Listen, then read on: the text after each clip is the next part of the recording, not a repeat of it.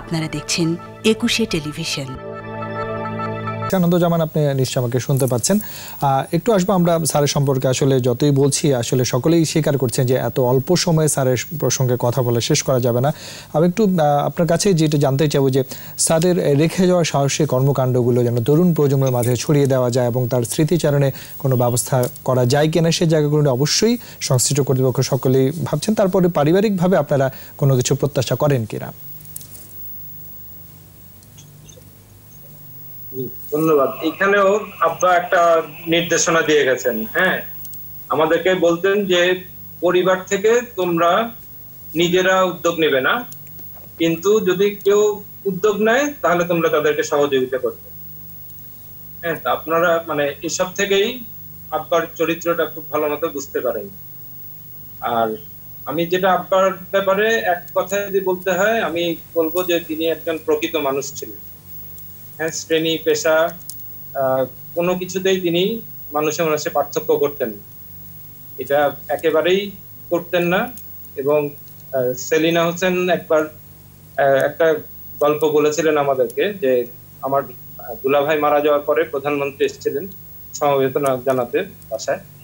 তো তার ঠিক পরপরই আব্বার পঁচিশ বছর আগে চট্টগ্রাম বিশ্ববিদ্যালয়ে ফেলে আসা দারোয়ান আব্বাকে ফোন করে সমবেদনা জানান তো তখন সেলিনা হোসেন বলেছিলেন যে, স্যারের বিচরণটা কতটা জুড়ে সমাজের, এ থেকে সেটা বোঝা যায়। এবং আমার একটা জিনিস মনে হয় যে, যখন ক্রিকেট খেলা হতো, আব্বা হয়তো বাইরে থেকে এসছেন, এসেই বলতেন যে কি অবস্থা, খেলার আপডেট নিতেন। তারপরে খেলা দেখতেন, খেলা শেষ হলে বাংলাদেশ যখন জিতে যেত, উনি তখন ওনার গানম্যান এবং ড্রাইভার তাদেরকে ফোন করতেন। করে প্রথমে তাদেরকে খবরটা দিতেন। আমি পরে বুঝতাম যে, আসতে পথে যেহেতু তাদের সাথেই খেলাটা দেখছিলেন, উনি চাইলেন যে তাদের সাথেই প্রথমে আনন্দটা ভাগাভাগি করে নিতে। তো তিনি এই ধরনের মানুষই ছিলেন। জনাব আনন্দ, আপনাকে অনেক ধন্যবাদ আমাদেরকে সময় দেওয়ার জন্য। অবশ্যই আমরা প্রত্যাশা করব স্যারের কৃতকর্মগুলো কখনোই হারিয়ে যাবে না। যুগ থেকে বাংলাদেশ যতদিন বেঁচে থাকবে, অবশ্যই স্যারের কর্তকর্মগুলো বেঁচে থাকবে এবং সরকার অবশ্যই সেই জায়গাগুলো ব্যবস্থা গ্রহণ করবে, সেই প্রত্যাশা আমরা রাখছি। আপনাকে অনেক ধন্যবাদ জানিয়ে বিদায় জানাচ্ছি আমাদের সঙ্গে সময় দেওয়ার জন্য। ধন্যবাদ জানাচ্ছি। আমরা একটু আবার ফিরে যেতে চাই মোহন স্যারের কাছে। স্যার, আমরা শেষ দিকে চলে এসেছি। শেষ দিকে আলোচনায় এসে এই যে বাঙালির বাতি ঘর অধ্যাপক আনিসুজ্জামান স্যারের এই স্মৃতিগুলো তরুণ প্রজন্মের মাঝে ছড়িয়ে দেওয়া এবং বাংলাদেশ যতদিন বেঁচে থাকবে, তার কৃতকর্মগুলো যেন আমরা ধরে রাখতে পারি, সেই জায়গায় আসলে আমরা কি করতে পারি? আরেকটি জিনিস আমি লক্ষ্য করতে চাই আপনার দৃষ্টি আকর্ষণ। যে আনিস আনিসুজ্জামান সাহেব এত ব্যস্ত লোক, সবাই ওনার কাছে কাজকর্ম নিয়ে যাচ্ছে। আপনি যদি একটা প্রবন্ধ নিয়ে যান আর ওনাকে বলেন, এইটা আমার খুব তাড়াতাড়ি প্রয়োজন। এবং উনি কিন্তু এত ব্যস্ততার মধ্যেও he will finish it on time আমি খুব কম লোকের কাছে এই ক্যারেক্টারিস্টটা দেখেছি। এই যে চারিত্রিক বৈশিষ্ট্যটা, যে কথা দিয়েছেন যে তোমাকে এটা করে দেব এবং অন টাইম আমি তাজ্জুব হই, কারণ আমরা নিজেরাও পারি না। কিন্তু উনি কিন্তু বিভিন্ন সময় আমি নিয়ে গেছি and on time he has completed the reading and make the correct, necessary corrections আরেকটি জিনিস হচ্ছে গিয়ে ওনার প্রত্যেকগুলো এই ইস্যুগুলোতে তিনি মানবাধিকে সবচেয়ে বেশি জোর দিয়েছেন। ধর্ম বর্ণ সব কিছুর ঊর্ধ্বে মানবিকতাকে সবচেয়ে বেশি জোর দিয়েছেন। তার চরিত্রিক বৈশিষ্ট্য একটা, আরেকটি সত্যকে সত্য বলা। কখনো পিছপা হন নাই। কেউ হয়তো কোনো ক্ষমতা কিংবা অন্য কিছুর ভয়ে বলবে না। কিন্তু উনি ঠিকই সত্য কথাটা বলে ফেলেন। এবং এইখানে কখনো ওনার দ্বিধাদ্বন্দ্ব নাই। হ্যাঁ আপনার জিনিসগুলো এত মার্জিতভাবে বলেন, যার ফলে এগুলো আপনার কেউ এটাকে অত কি হিসাবে গ্রহণ করে না। আর যুক্তি দিয়ে বলেন যে সেইটা সবাই সহজে গ্রহণ করে। আমি এইরকম অমায়িক লোক, ব্যক্তি জীবনে একটা অমায়িক লোক খুব কমই দেখেছি।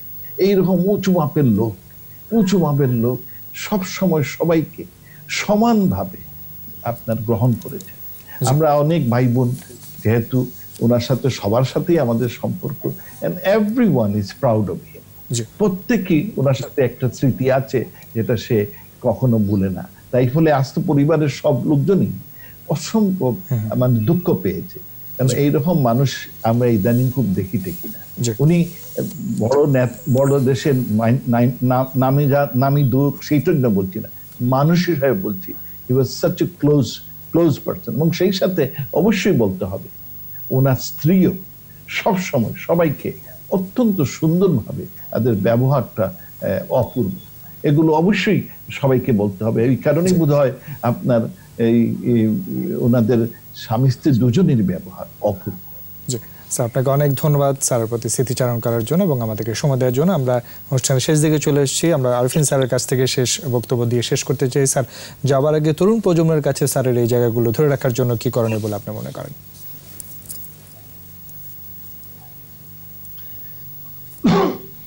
অধ্যাপক আনিসুজ্জামান, সারা জীবন অত্যন্ত সহজ, সরল, অনাড়ম্বর জীবন যাপন করে গেছেন। তিনি যে শিক্ষা দিয়ে গেছেন, সেই শিক্ষাটা আমাদের ধরে রাখা প্রয়োজন এবং এই যে আমি একটু আগে বলছিলাম যে যখনই ছাত্র ছাত্রীদের কোনো অনুষ্ঠান, আয়োজন যেখানে একজন পণ্ডিত অধ্যাপকের একটা ভাষণ দরকার, অভি- অভিভাষণ দরকার, তখন তিনি অবধারিতভাবে সেখানে উপস্থিত হয়েছেন। বক্তব্য রেখেছেন এবং পরবর্তী, পরবর্তীতে ছাত্র ছাত্রীরা আমার কাছে যে কথাগুলো বলেছেন বিভিন্ন ডিসিপ্লিনের ছাত্র ছাত্রী কিন্তু তারা সবাই বলেছে যে, স্যার, উনি এত সহজভাবে এত কঠিন বিষয়গুলো বলে গেলেন। এটা আমাদের জন্য পরম শিক্ষা এবং আমরা বিশ্ববিদ্যালয়ের জীবনে এই ধরনের ভাষণ অভিভাষণের সঙ্গে খুব বেশি পরিচিত হতে পারি। এখানেই হলো অধ্যাপক আনিসুজ্জামানের স্বাতন্ত্র তিনি যে কোনো বিষয়ে যে সহজ সরলভাবে বলতে পারতেন, সেটি আমাদের তরুণ প্রজন্মকে মুগ্ধ করে রাখত। আজকে অধ্যাপক আনিসুজ্জামান আমাদের মাঝে নেই। এটি একটি বাস্তবতা যেটি আমাদের মেনে নিতে হবে, কারণ মৃত্যু মানুষের অনিবার্য পরিণতি। মানুষ পৃথিবীতে আসেন, তার দায়িত্ব পালন করে তারা বা পৃথিবী থেকে বিদায় নেন। আমরা সবাই একদিনই পৃথিবী থেকে বিদায় নেব, এটি একটি বাস্তবতা। কিন্তু কিছু কিছু মানুষ থাকেন। অধ্যাপক আনিসুজ্জামান সেই ধরনেরই একজন মানুষ। তারা যে বয়সেই পৃথিবী ছেড়ে চলে যান না কেন আমরা মনে করি যে তার এই মৃত্যু আসলেই অকাল মৃত্যু। অধ্যাপক আনিসুজ্জামানের মৃত্যু ঠিক তেমনি একটি মৃত্যু। আমাদের কাছে এখন মনে হয় সবসময় মনে হবে যে ওনার আরও কিছুদিন বেঁচে- বেঁচে থাকা উচিত ছিল। আরও কিছুদিন বাংলাদেশে যদি আমাদের তরুণ প্রজন্ম মাঝে সময় দিতে পারতেন তরুণ প্রজন্মকে কিছু বলে বলে যেতে পারতেন তাহলে দেশ উপকৃত হতো। সমাজ উপকৃত হতো কারণ তরুণরাই তো আগামী দিনের বাংলাদেশ পরিচয় অতএব এই ধরনের মানুষ অধ্যাপক আনিসুজ্জামানের মতো মানুষদের দীর্ঘদিন বেঁচে থাকা দরকার। আমরা সে প্রত্যাশা রাখছি। নেই মৃত্যু মানুষের অনিবার্য পরিণতি আমাদের মেনে নেওয়া ছাড়া উপায় থাকে না। কিন্তু অধ্যাপক আনিসুজ্জামান যে সম্পদ রেখে গেছেন তার গ্রন্থের মাঝে তার লেখনীর মাঝে তার গবেষণার মাধ্যমে তার বক্তব্য বিবৃতি। বিভিন্ন সময়ে যেগুলো তিনি দিয়েছেন তার মাঝে সেগুলোকে আমাদের এখন সুরক্ষা করা তার এই তার এই সম্পদ এগুলোকে সুরক্ষা করা এবং সেগুলো সমাজের তরুণ প্রজন্মের কাছে উপস্থাপন পৌঁছে দেওয়া। জনাব শামসুজ্জামান খালের সঙ্গে তিনি সাবেক মহাপরিচালক বাংলা একাডেমি। আমরা তার কাছ থেকে শুনব স্যারের প্রসঙ্গে। জনাব শামসুজ্জামান খান আপনি নিশ্চয়ই আমাকে শুনতে পাচ্ছেন। হ্যাঁ শুনতে পাচ্ছি। আমরা আপনার কাছে একটু জানতে চাইব আমরা জানি যে স্যারের শেষ কর্মস্থল ছিল বাংলা একাডেমি এবং আপনি নিজেও কাজ করেছেন তার সঙ্গে দীর্ঘ সময় কাটিয়েছেন। স্যারের প্রসঙ্গে স্মৃতিচারণ করবেন এবং সেই সঙ্গে স্যারের জীবন আদর্শ তরুণ প্রজন্মের মাঝে ছড়িয়ে দেওয়ার জন্য আমাদের কি করণীয় সেই জায়গাগুলো যদি একটু স্মৃতিচারণ করেন এবং বলেন। অধ্যাপক আনিসুজ্জামান স্যারের সঙ্গে আমার পরিচয় উনিশশো উনষাট সন থেকে সেই বছরই আমি ঢাকা বিশ্ববিদ্যালয়ের বাংলা বিভাগে ভর্তি হই এবং তিনি তখন আমাদের তরুণ শিক্ষক। এবং শিক্ষক হিসেবে তাকে আমি পেয়েছিলাম যখন, তখন তিনি আমাদের ক্লাস নিতেন, রবীন্দ্রনাথের ছোট গল্প পড়াতেন আর নীল দর্পণ, দীনবন্ধু মিত্রের নীল দর্পণ পড়াতেন।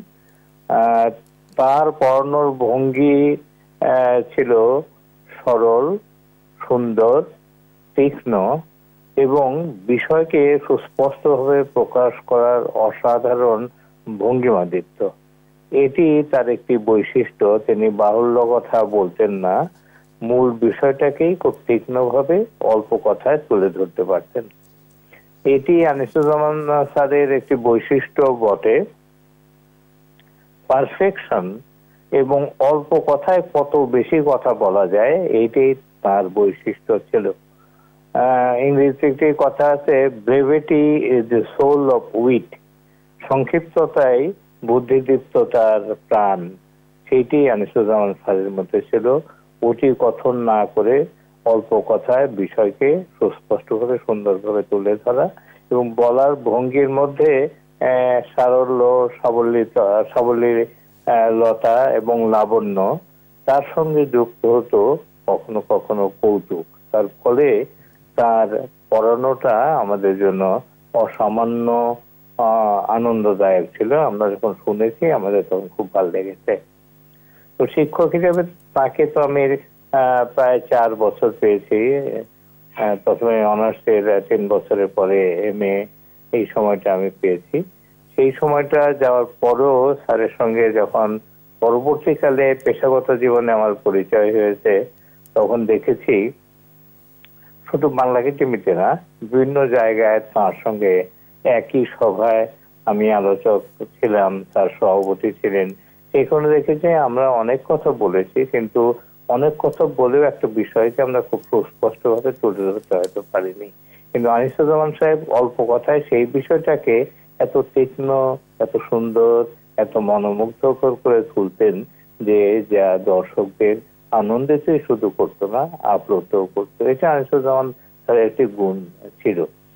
আর মেধার দিক থেকে যদি দেখি, তাহলে আমার তো মনে হয় যে একালে আমাদের এই সময় তিরিশ, চল্লিশ বছরের মধ্যে অধ্যাপক মুনিশ চৌধুরী, আবু হেনা মুস্তফা কামাল এবং আনিসুজ্জামান, এই তিনজনই ছিলেন অসাধারণ মেধাবী মেধাবী বাগ্মী এবং শুধুমাত্র বাগ্মী না, কোনো বিষয়কে দেখার নতুন দৃষ্টিভঙ্গিও তাদের ছিল এবং সেটি প্রকাশ করার ভঙ্গির মধ্যেও তাদের সক্রিয় বৈশিষ্ট্য ছিল। এই দিক থেকেও আনিসুজ্জামান একজন বিশিষ্ট পণ্ডিত এবং ভাবুক চিন্তক এবং বলা যেতে পারে যে সংস্কৃতি ক্ষেত্রের আহ, বা বুদ্ধিবৃত্তির চর্চার ক্ষেত্রে খুবই গুরুত্বপূর্ণ ব্যক্তি। তিনি অসাম্প্রদায়িক চেতনায় আজীবন কাজ করে গেছেন। সামাজিক জাগরণের ক্ষেত্রে সকলকে নিয়ে বহুত্ববাদী চিন্তার মাধ্যমে তার চিন্তাধারাকে তরুণ সমাজ এবং যারা অ্যাক্টিভিস্ট বা সক্রিয়তাবাদী, তাদের মধ্যে সেটি প্রকাশের ক্ষেত্রে তিনি এমন একটি ভূমিকা পালন করেছিলেন যে সেটি রবীন্দ্র জয়ন্তী হোক বা নজরুল জয়ন্তী হোক বা নজরুল রবীন্দ্রনাথের বিষয়ে আলোচনা আলোচনা বা পর্যালোচনাই হোক, অথবা যখন রবীন্দ্র বিরোধিতা আসছে তখন সেটি প্রকাশের ব্যাপারে বা তার প্রতিবাদের ব্যাপারে তার একটি অসাধারণ ভূমিকা ছিল। এবং আজীবন তিনি অসাম্প্রদায়িক গণতান্ত্রিক, সামাজিক অগ্রগতিতে বিশ্বাসী এবং ইনক্লুসিভ ইনক্লুসিভ সোসাইটি গড়ার ক্ষেত্রে সিভিল সোসাইটির একজন গুরুত্বপূর্ণ সদস্য হিসেবে তিনি সবসময় ভূমিকা পালন করে গিয়েছেন। আধুনিকতার পক্ষে, যুক্তির পক্ষে, মানবিকতার পক্ষে এবং আন্তর্জাতিক চিন্তা চেতনার পক্ষে তার ভূমিকা সবসময় ছিল সুস্পষ্ট এবং অত্যন্ত সুদৃঢ়। এবং যদি তার সাহিত্য ও সংস্কৃতির চর্চার কথা বলি, তাহলে বলতে হবে যে তার যে পিএইচডি অভিসন্দর্ভ, মুসলিম মানুষ ও বাংলা সাহিত্য এই বিষয়টা নিয়ে অনেকেই কাজ করেছেন কিন্তু আনিসুজ্জামান সাহেবের কাজটাই ছিল সবচেয়ে গুরুত্বপূর্ণ এবং গুরুত্বপূর্ণ ছিল বলেই বিখ্যাত ঐতিহাসিক নেহার রঞ্জন রায় এই বই সম্পর্কে খুব বিশেষভাবে প্রশংসা করেছেন। শুধুমাত্র নেহার রঞ্জন রায় নয় তিনি এমন একটা অবস্থায় ধীরে ধীরে পৌঁছেছিলেন যে গোটা বাঙালি বুদ্ধিভিত্তিক সমাজে সেটি আহ, শুধুমাত্র তৎকালীন পূর্ব বাংলা বর্তমান বাংলাদেশ বা পশ্চিম বাংলা নয় যেখানেই যারা বাঙালি আছেন তারা জানতেন যে আনিসুজ্জামান এক অসাধারণ ধীমান ব্যক্তিত্ব। তার বুদ্ধিভিত্তিক যে বুদ্ধিভিত্তিক যে উৎকর্ষ এবং তাকে প্রকাশ করার যে অসাধারণত্ব সেটি শুধুমাত্র তার জন্যই যেন প্রযোজ্য ওই রকম করে আর কেউ যেন ওই বিষয়গুলোকে প্রকাশ করতে পারতেন না। এই দিক থেকে বলা যেতে পারে আদি আনিসুজ্জামান সাহেব একালে আমাদের জন্য একজন অপরিহার্য ব্যক্তিত্ব ছিলেন। যখনই কোনো সামাজিক বিষয়ে সংগ্রাম করতে হয়েছে যখনই কোনো ধর্মীয় অন্ধতার বিরুদ্ধে সংগ্রাম করতে হয়েছে বা আমাদের মুক্তিযুদ্ধের চেতনাকে প্রকাশের বিষয় নিয়ে আমাদের লড়াই করতে হয়েছে তখনও আনিসুজ্জামান আমাদের অগ্র সৈনিক ছিলেন। অল্প বয়স থেকে কিন্তু তার সামাজিক চেতনায় এই দ্বীপ্রতা আমরা লক্ষ্য করি। সেখানেও ভাষা আন্দোলনেও তিনি তাকে দেখি যখন তিনি জগন্নাথ কলেজের ছাত্র মাত্র তখনও তিনি একজন সক্রিয় সক্রিয় সংগ্রামী ভাষা আন্দোলনে ভূমিকা রেখেছেন। তার লিফলেট লেখা বা তার জন্য কোনো বিবৃতি রচনা করা এইসব কাজেও তিনি ছিলেন অসাধারণ। মানে সব মিলিয়ে বলতে পারি যে আনিসুজ্জামান সাহেব একজন পণ্ডিত হিসাবে একজন আহ, অসাধারণ অধ্যাপক হিসাবে এবং বাংলা গদ্য সাহিত্যের একজন লেখক হিসাবে অথবা পুরনো গদ্য নিয়ে তিনি যখন বই রচনা করেন অথবা অথবা আমাদের সাংস্কৃতিক জগতের বিশিষ্ট ব্যক্তিদের জীবন কথা অতি সংক্ষেপে বর্ণনা করেন সেখানেও আনিসুজ্জামানের আহ, অসাধারণতা আমাদের চোখ এড়িয়ে যায় না। জি জনাব শামসুজ্জামান ইংরেজি এবং খান। বাংলা দুটি। ভাষায় অসাধারণ সুন্দরভাবে বলতে এবং লিখতে পারতেন এবং তার বইয়ের সংখ্যাও অনেক সব বইয়ের কথা তো বলা যাবে না। তার আত্মজীবনীমূলক বইগুলো বা মুক্তিযুদ্ধ বিষয়ক বইগুলো আমাদের তরুণ সমাজের অবশ্য পাঠ্য হওয়া উচিত। আমি মনে করি তরুণ সমাজ আমাদের বর্তমান তরুণ সমাজ আনিসুজ্জামানকে আদর্শ হিসেবে গ্রহণ করে যদি তাদের চিন্তা চেতনাকে বিন্যস্ত করে তাহলে আমাদের সাংস্কৃতিক ঐতিহ্য এবং বুদ্ধিবৃত্তি চিন্তা চেতনার ক্ষেত্রে তারা বিশেষ অবদান রাখে রাখতে সক্ষম হবে। জনাব শামসুজ্জামান খান আপনাকে অনেক ধন্যবাদ আমাদেরকে সময় দেওয়ার জন্য। আমরা কথা বলছিলাম বাঙালির বাতিঘর অধ্যাপক আনিসুজ্জামান স্যারের স্মৃতিচারণে। আমরা সব আলোচনায় দেখেছি যে স্যারের যে কর্মকাণ্ডগুলো সেই কর্মকাণ্ডগুলো আজীবন বেঁচে থাকবে তার যে স্মৃতিচারণ করছিলেন তারাও বলছিলেন। আমরা প্রত্যাশা করি তরুণ প্রজন্মের হাত ধরেই আনিসুজ্জামান স্যারের রেখে যাওয়া কাজগুলোর মাধ্যমে বাংলাদেশ এগিয়ে যাবে।